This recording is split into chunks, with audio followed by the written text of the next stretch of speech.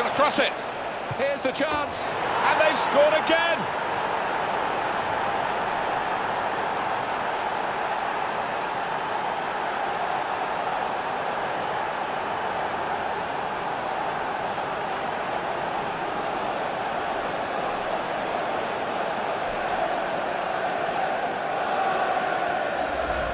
What an exquisite overhead kick that was, and to finish bottom right, you don't see many of those. Let's have another peek at that goal.